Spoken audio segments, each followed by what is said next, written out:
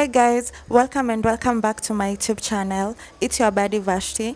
If you have not yet subscribed to the channel, kindly just support me by hitting and clicking the subscribe button. If you have already subscribed to the channel, then welcome and welcome back again, my loves. So without further ado, today we are going to be talking about Blueface Chrisean. And basically, guys, congrats to our girl because it seems that she has finally moved on from Blueface because I think, you know, right now she's just taking things as they are and not taking things and perceiving them as she wants them to be.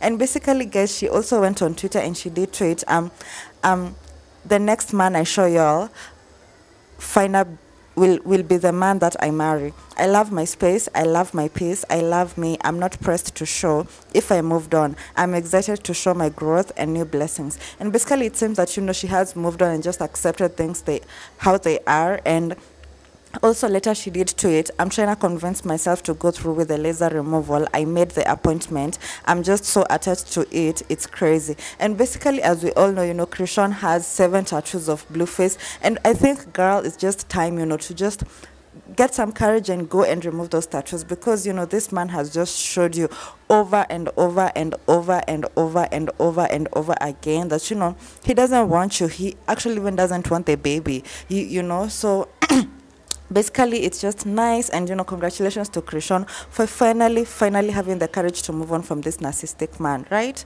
So basically guys just tell me what do you think about this whole situation? And also let's just hope that she goes through with it you know? It's not let's just hope it's you know actions will be followed afterwards you know? So basically guys don't forget to hit the subscribe button. Don't forget to comment down below and let me know your opinion about this whole situation. And with that guys i'm out we out. Bye guys